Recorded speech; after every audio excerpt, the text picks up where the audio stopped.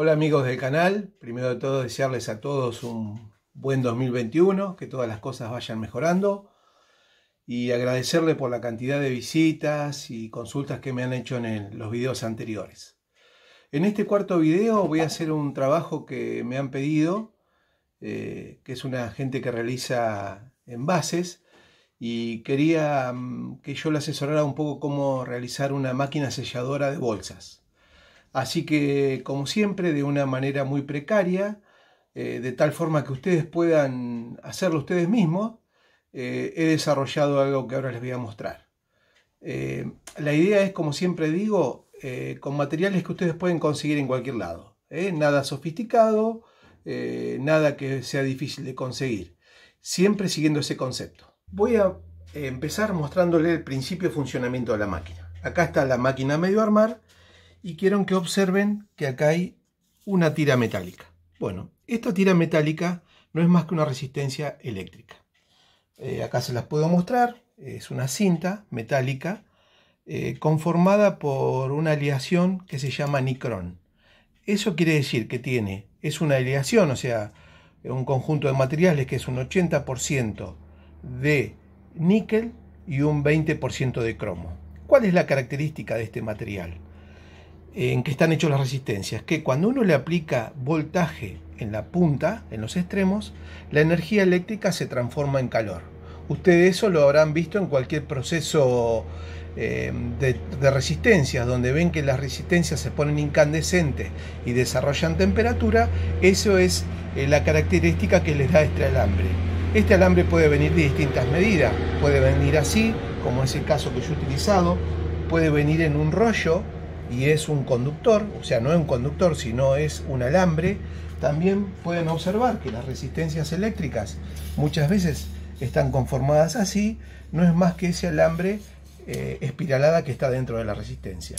En primer paso es para que ustedes tengan un concepto de qué es lo que estamos armando. Bien, siguiendo con el primer paso que es la resistencia eléctrica, nosotros qué vamos a hacer? Vamos a aplicarle un voltaje en esos extremos. Acá se puede ver un extremo que yo he armado con distintos terminales y dos cables. En estos dos cables es donde vamos a aplicar la diferencia de voltaje, o sea, como yo siempre digo, es muy importante que en este tipo de, elementos que nosotros construyamos, de máquinas, que siempre el voltaje debe ser bajo voltaje. ¿Por qué? Porque nosotros vamos a estar operando con nuestras manos. Y al operar con nuestras manos vamos a tener un gran peligro. Si nosotros utilizamos bajo voltaje, como yo les comenté con el caso del incrustador de cera, que es un video anterior, no vamos a tener ningún problema. En mi caso, ustedes observen que yo utilicé una batería de automóvil de 12 volt. También se puede utilizar un transformador que en este caso es de 220 a 12 volt y 50 watts. O sea, siempre recomienden que lo van a utilizar con 12 volts. Bien, segunda inquietud. ¿Y qué largo tiene que tener la resistencia? Eh, una cosa muy práctica que les va a resultar a ustedes es tanto esta resistencia como una cinta de teflón, que ahora les voy a explicar para qué es, se suele comprar como repuesto de estas máquinas selladoras. Y cuando ustedes la compran como repuesto le van a decir es una cinta de 20 centímetros de 12 volts entonces ustedes ya van a saber con qué voltaje tienen que trabajar. Bien, segundo paso, cuando la resistencia se calienta, ustedes observarán que yo hice esta máquina con un listón de madera. Yo directamente agarré unas maderas, construí la máquina que ahora van a ver, pero ¿qué pasa? Al aplicar la resistencia, cuando desarrolla temperatura sobre la madera, ¿qué va a pasar? Se va a quemar la madera. Para evitar eso, viene como accesorio de este tipo de repuestos de máquinas unas cintas que se llaman teflonadas. ¿Cuál es la característica? Yo coloco la cinta y cuando la resistencia desarrolla temperatura no me va a quemar la, no me va a quemar la madera. En mi caso, esta cinta teflonada yo la coloqué sobre unas gomas que ¿qué me favorecen? Que a la hora de apretar va a tomar mejor la forma de la superficie de la bolsa que quiero sellar. Esto es alternativo porque ¿qué pasa? Si nosotros nos dormimos en el tiempo de exposición de temperatura se nos va a quemar y va a haber un olor a goma quemado tremendo. Así que eso se lo dejo de detalle constructivo de acuerdo a lo que ustedes quieran utilizar. Bueno, entonces ahí ya nosotros tenemos el concepto. Colocamos la goma, colocamos la cinta teflonada, todo esto va pegado, se coloca la cinta teflonada.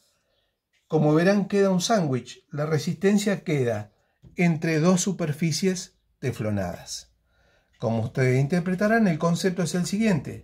Se baja, aunque en este momento la máquina esté sin terminar de armar, se baja y la cinta que está caliente va a sellar la bolsa. ¿De acuerdo a qué la va a sellar? Al tiempo que yo exponga la bolsa a este sándwich, digamos. Si es demasiado tiempo, obviamente la voy a quemar. Eso ya es una cuestión que va a depender del tipo de bolsa, pero que lo vamos a ver después. Ahora bien, les voy a explicar el sistema, cómo armé la máquina para que tenga un interruptor. Ahora vamos a ir a la parte eléctrica, la parte de circuito eléctrico. Quiero que vean esto. Yo les dije que directamente se conectaban los dos terminales, eh, uno por un lado y otro por otro de, la cinta eh, resistiva.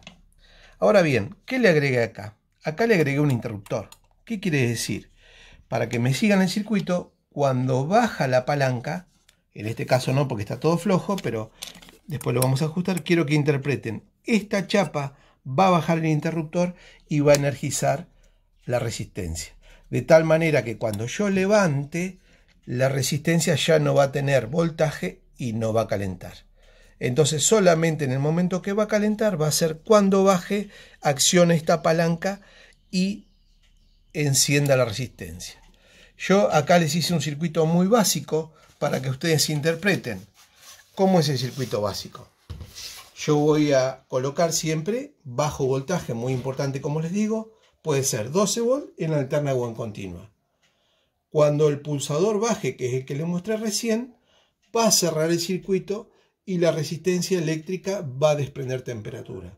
Cuando levante el brazo, este interruptor se va a abrir y de esa manera va a dejar de irradiar calor. Por consiguiente vamos a poder trabajar tranquilamente porque si no estarías, eh, se seguiría calentando y sería bastante desastroso. Esta era una idea gráfica para que ustedes tengan una idea del concepto. Bien, ahora quiero que observen, constructivamente le hice una tarja a la madera y llevé un extremo de la resistencia al, al interruptor. Del interruptor directamente, la otra va a la tensión y de esta punta va a la tensión. Observen que como interruptor se puede usar cualquier cosa que ustedes tengan a mano. Este es un simple interruptor de algún electrodoméstico y esto es otro interruptor que nosotros llamamos micro, igual a este. Pero cualquier interruptor de timbre, lo que sea, ustedes los pueden utilizar. Ahora bien, ahora voy a proceder al armado final del proyecto para que ustedes vean cómo queda terminado. Ahora les voy a mostrar eh, cómo, cómo quedó armada la otra parte de la cinta y de la goma. En mi caso eh, es así. Le coloco cemento de contacto. Obviamente tengo que esperar un poquitito para que para que este cemento de contacto pueda pegarlo. Una vez que coloco el cemento de contacto que va a ir acá, voy a colocar la cinta teflonada, que como les comenté es muy importante, eh, que viene con un adhesivo que yo, como verán, me cuesta sacarlo, pero en cualquier momento lo voy a lograr. Y creo que lo, lo, estoy logrando. Como verán, viene muy, muy pegada, ahí está. Esta tiene autoadhesivo, o sea que al final se va a pegar. Una vez que ya el cemento contacto realizó su función, pego, pego y después sobre esto pego la siguiente cinta. Ahora voy a proceder al, ajustado de los tornillos. Tenemos invitada una mosca al canal, ya tenemos público en directo. Eso quiere decir que la mosca le, ha traído... Bien, ahí va tomando forma, observen También le, verán que le puse un manguito de lo que era una lima para poder manipularlo. ¿Ven? Y ya se va acercando el proceso.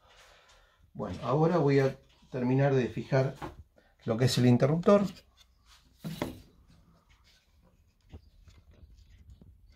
Observen el tipo de bisagra que yo le hice.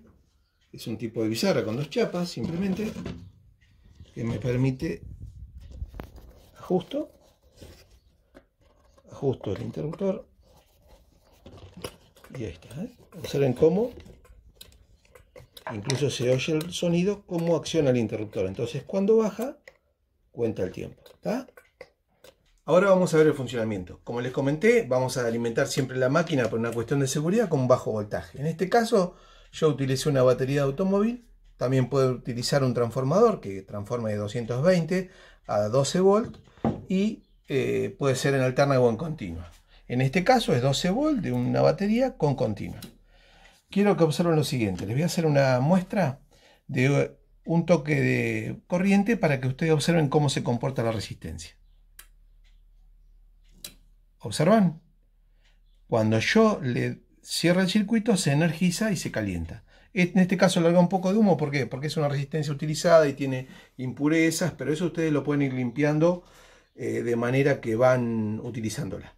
Ahora bien, en este caso lo ideal sería que más allá de que yo utilice un interruptor, como en este caso y caliente, lo ideal sería que este circuito anexado tenga un temporizador. Y ese temporizador, ¿qué es lo que haría? Yo le regularía el tiempo que quiero que esto se energice y cuando ese tiempo transcurre se corta. Si ustedes vieron mi video de que realicé el tema de la estampadora de cera, eh, yo eh, desarrollé un temporizador que lo utilicé en ese proyecto. Más adelante voy a fabricar un temporizador para que ustedes lo puedan utilizar tanto en el proyecto de apicultura de cera estampada como en el proyecto del sellador de bolsa porque es muy importante.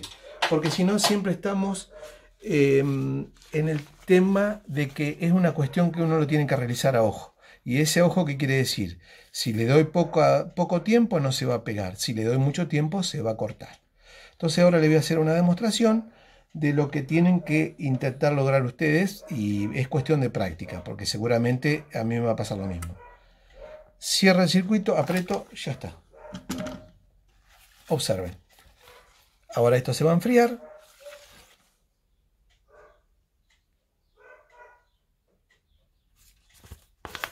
Si yo quiero, ¿ven?